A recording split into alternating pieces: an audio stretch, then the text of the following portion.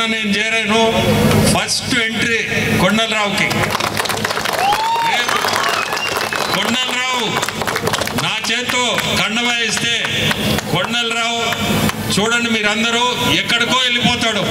అతను అతని భవిష్యత్తు బ్రహ్మాండమైన భవిష్యత్తు ఈ పార్టీలో. నిన్న నేను చేరటం. ఈరోజు ఈయనకి ఫస్ట్ దీన్ని ఓనీ నాది. నా చెయ్యి చె- చెప్పుకోకూడదు కానీ నా చెయ్యి చాలా మంచి చేయి. అతని నోట్లో నుంచే ఈ ఎలక్షన్ తర్వాత తప్పకుండా చెప్తాడు కూడా ఆ మాట.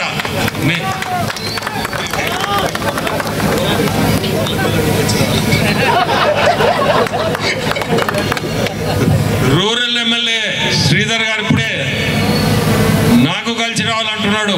అతనికి ఆల్రెడీ కలిసి వచ్చి ఉంది ఇప్పుడు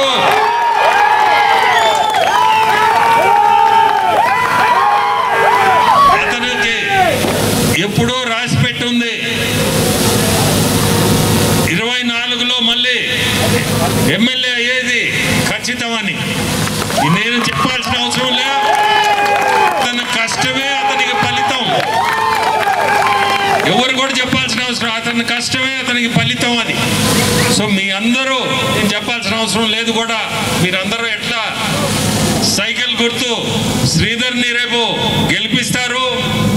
అట్టే నాది కూడా చెప్పుకోవాలా? మేబీ నేను మీ అందరికి కొత్త ఉండొచ్చు. కానీ రేపు తెలుగుదేశం పార్టీ తరఫున ఎంపీగా నిలబడుతున్నాను. మీ అందరి ఆశీస్సుల్లో నాకు ఉండాలా? మీ మీ శ్రీధరు మీ శ్రీధర్ ఎట్లా మీకు చేస్తారు అతని కంటే రెండింతలు ఎక్కువ చేస్తా నేను సో గుర్తుపెట్టుకోండి గుర్తుపెట్టుకొని మా గెలిపిండి ఇరవై ఇరవై రెండో వార్డు ఇది. ఇరవై రెండే కదా ఇది. ఇరవై రెండో వార్డులో మీకు సమస్యలు ఏ సమస్యలున్నా జూన్ జూన్ నెలలో ఇప్పుడు కాదు ఇమ్మీడియట్గా ఏది పెట్టొద్దు. జూన్ నెలలో తప్పకుండా మీ సమస్యలు ఏదన్నా ఉంటే ఈ వార్డుని మటుకు రోడ్లు కానీ ఇంకోటి కానీ ఏది పెండింగ్ ఉన్నా ఖచ్చితంగా చేసేటట్టుగా మేము ఇద్దరం చేస్తాం అట్లా ఈరోజు కొండలరావు కూడా చెప్తున్నాను ఈ ఈరోజు చేరడం మనకి చాలా సంతోషం. ఎందుకంటే చాలా మంది చెప్పారు నాకు చాలా కష్టపడతాడు చాలా యాక్టివ్ అని. సో అది ఆ యాక్టివ్ తగ్గకూడదు ముందు కట్టే సాగాలని కోరుకుంటూ మీ అందరికి కూడా నమస్కారం మళ్ళీ కూడా చెప్తున్నాను. రేపు ఆ ఇల్లు ఏమైపోయినాయమ్మా ఇల్లు ఏమైపోయినాయి తల్లి. మొత్తం ఏడబడితే ఆడ చెదలు పట్టిపోయినాయి. ఇంట్లో మనం పోవాలంటే పోలేని పరిస్థితి. రేపటి రోజు పరిస్థితి విధంగా ఉండదమ్మా.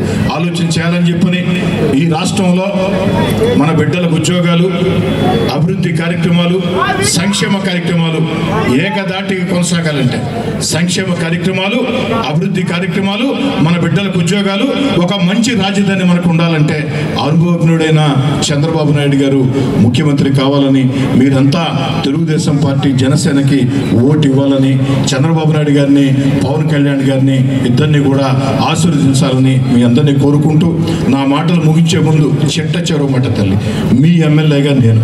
అమ్మా పదేళ్ళ ముందు మీ కాడికి వచ్చా. అమ్మా నా తండ్రి ఎమ్మెల్యే కాదు తాత కాదు వేల కోట్ల ఆస్తులుండి కుటుంబంలో పుట్టల కష్టాలు నష్టాలు కన్నీళ్ళు ఉండే సామాన్య మధ్యతరగతి కుటుంబం అయినా జెండా భుజాన వేసుకుని పనిచేసా ఎమ్మెల్యేగా నాకు అవకాశం వచ్చింది. నాకు ఓటు ఇవ్వండి. నేను ఎమ్మెల్యేగా గెలిస్తే భూమి బ్రహ్మాండం బద్దలు చేస్తా అన్న మాటలు నేను చెప్పను కానీ మీ అన్నో మీ తమ్ముడో మీ బిడ్డో ఎమ్మెల్యేగా ఉంటే ఎంత చనువు ఉంటుందో అంత చనువు నా వద్ద ఉంటుంది. నిరంతరం ప్రజలకు అందుబాటులో ఉంటా. ఎవరు ఫోన్ చేసినా ఫోన్ ఎత్తుకుంటా. ఎమ్మెల్యే అంటే ఐదేళ్ళకు ఒకసారి ఓట్ల కోసం వచ్చే నాయకుడు కాదు ప్రారంభోత్సవాలకు వచ్చే నాయకుడు కాదు. ఎమ్మెల్యే అంటే నిరంతర ప్రజల్లో ఉండాలా? ఎమ్మెల్యే అంటే ఎలా ఉండాలంటే ఎమ్మెల్యే అంటే మా కోటమిరెడ్డి సీతారెడ్డిలా ఉండాలా అని మీరందరూ గర్వంగా చెప్పినంత ముందుకు సాగుతున్నారు అదేవిధంగా ఉన్నానమ్మా. అదేవిధంగా ఉన్నా. నా చేతులు ఉంటే పరిష్కారం చేశాను చేతులు లేకుంటే చేయలేకపోయినా. అవసరమైతే ప్రజా సమస్యల పరిష్కారం కోసం ప్రతిపక్షంలో ఉన్నప్పుడైనా అధికార పక్షంలో ఉన్నప్పుడైనా అధికారుల మీద ఒత్తిడి తేవాల్సి వచ్చినప్పుడు మీకోసం మురిగుట్లో కూడా దిగాను తల్లి. అంతిమంగా సమస్యని పరిష్కారం మీ ఆశీస్సులతో చేశానని చెప్పని కూడా తెలియజేస్తున్నాను తల్లి. వేమిరెడ్డి ప్రభాకర్ రెడ్డి గారు ఈ జిల్లాలో అజాత శత్రు. వారు తను సొంతంగా వ్యాపారాలు చేసుకొని ఆస్తుల్లో ప్రజలకు సేవ చేయాలని కొన్ని వందల మంది విద్యార్థిని విద్యార్థులకి ఉచితంగా చదువులు చెప్పిస్తున్నారమ్మా. కొన్ని వందల మంది విద్యార్థిని విద్యార్థులకి. అంతేగా తల్లి నెల్లూరు జిల్లాలో అనేక గ్రామాల్లో వాటర్ ప్లాంట్లు లేక మంచినీళ్ళ కోసం ప్రజలు ఇబ్బంది పడుతూ ఉంటే వారు సొంత నిధులతో పూర్తి స్థాయిలో వాటర్ ప్లాంట్ ఏర్పాటు చేసి చాలా మంది వాటర్ ప్లాంట్ కట్టి వదిలేస్తారమ్మా కానీ వేమిరెడ్డి ప్రభాకర్ రెడ్డి గారు వాటర్ ప్లాంట్ కట్టి దాని నిర్వహణ కూడా ఈరోజు కొనసాగిస్తూ విజయవంతంగా సాగిస్తున్నారు. ఆ రోజు కరోనా కష్టకాలంలో నేను సైతం అంటూ ఆ రోజు వారు పార్లమెంట్ సభ్యులు కాదు రాజ్యసభ సభ్యులే. కానీ ఒక రాజ్యసభ సభ్యుడిగా నేనున్నా నా ప్రజల కష్టాల్లో ఉన్నారని కోట్లాది రూపాయలతో కరోనా కష్టకాలంలో మనకు అండగా నిచ్చిన వ్యక్తి. ఇక ధార్మిక కార్యక్రమాలు అయితే హిందువుల ముస్లిముల క్రైస్తవుల తేడా లేకుండా అందరికీ కూడా అండగా ఉండే వ్యక్తి. అలాంటి వ్యక్తి ఈరోజు వారికి లోక్సభ సభ్యత్వం నిజంగా అవసరం లేదమ్మా ఎందుకంటే వారు కావాలంటే భారతదేశంలో ఏ రాష్ట్రంలో అయినా రాజ్యసభ సభ్యుడు కావచ్చు. కానీ ప్రజల్లో ఉండాలా? లోక్సభ అయితేనే ప్రజలకు సాధ్యం అవుతాయి పది రకాల మేళ్ళు చేయొచ్చు. జిల్లాని అభివృద్ధి చేయాలా?